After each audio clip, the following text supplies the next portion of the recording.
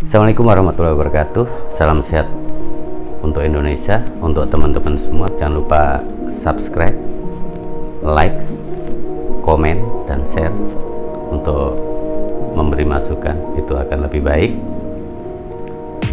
Akhir-akhir ini Kita masih berada dalam satu kondisi yang belum menentu. Mungkin bisa kita sebut dengan sengkarut Panik dan kita tidak tahu sampai kapan. Kalau kita lihat data penyebaran atau data yang positif terkait dengan COVID-19 ini setiap hari terus bertambah. Nah, datanya seperti ini. Nah, perkembangan ini tentu diakibatkan oleh banyak faktor. Kalau akhir-akhir ini kita disibukkan dengan istilah karantina wilayah, lockdown atau yang lainnya. Ini sebenarnya kalau menurut uh, opini saya masyarakat atau rakyat Indonesia ini butuh kepastian. Kenapa? Ketika kita dihimbau untuk di rumah saja, melakukan segala eh, sesuatunya dari rumah, tidak berkerumun, tidak keluar kalau tidak penting sekali. Tapi malah banyak yang pulang kampung ribuan. Ya kita tidak bisa menyalahkan. Kenapa? Kebanyakan dari orang yang pulang kampung itu ketika di Jakarta bekerja lepas pedagang dan dalam kondisi seperti ini mereka sudah tidak bisa bekerja lagi tidak berdagang lagi dan akhirnya tidak punya penghasilan. Ketika tidak punya penghasilan kita isolasi di rumah kita stay di rumah semakin stres. Akhirnya banyak yang memilih untuk pulang kampung karena di kampung tentu secara ekonomi tidak seberat yang ada di sini. Beda ketika kita mampu ketika orang mampu secara ekonomi mau stay di rumah seminggu, dua minggu, tiga minggu sebulan, dua bulan.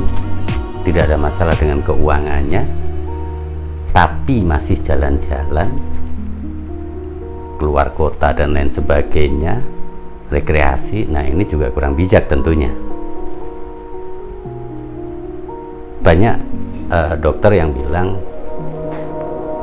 di beberapa WA group corona ini tidak bahaya. Yang bahaya adalah penyebarannya. Nah pemerintah dengan berbagai kebijakan tentu untuk mengkat atau memutus rantai penyebaran ini. Cuman memang buat masyarakat butuh ketegasan. Ketika harus di rumah oke okay, bisa bertahan seminggu dapur masih bisa ngebul dua minggu dengan seadanya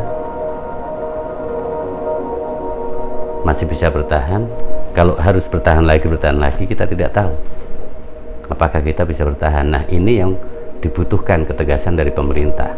Kalau alasannya banyak warga negara yang tidak punya KTP alamatnya nggak jelas dan lain-lain ini sebenarnya bukan alamat alasan.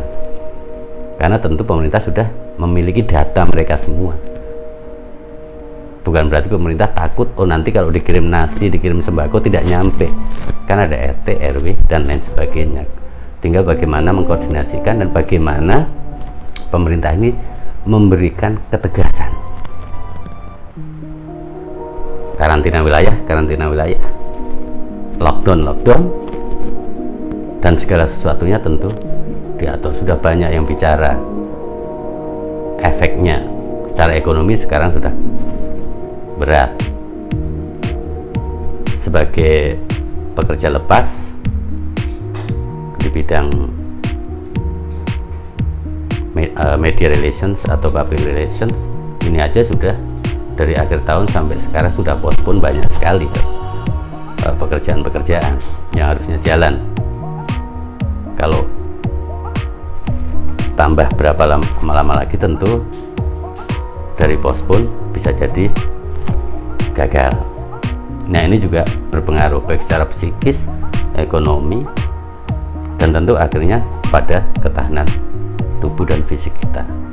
Nah, dari sini tentu sebagai warga biasa, sebagai orang kalau di strata ekonomi di dulu saat di menengah sekarang mungkin saat di bawah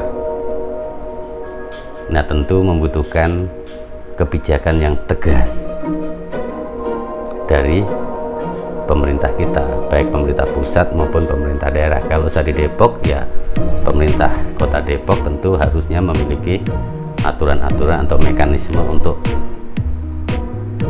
memastikan hajat hidup warganya itu terjamin. Bukan berada di rumah tapi selalu dalam uh, pikiran was-was.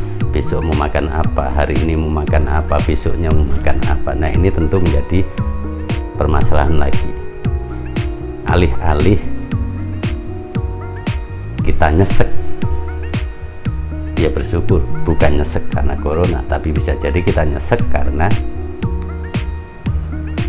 ekonomi keluarga sudah tidak jalan atau dapur sudah tidak ngebul lagi. Nah mudah-mudahan bermanfaat. Tetap semangat selalu berdoa agar COVID-19 ini segera lepas dari Indonesia dan kita bisa bekerja seperti sedia kala, kita bisa berinteraksi seperti sedia kala dan jangan lupa tetap selalu jaga perilaku hidup bersih kita, cuci tangan, utamakan bersih, jaga jarak biar kita tetap sehat. Kalau batuk kita harus menggunakan adab, kita tutup Salam sehat untuk Indonesia.